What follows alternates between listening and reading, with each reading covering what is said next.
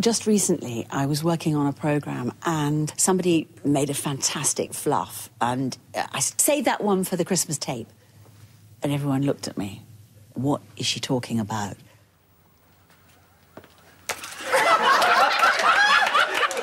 The BBC Christmas tape was an in house thing that was done by the VT department every year.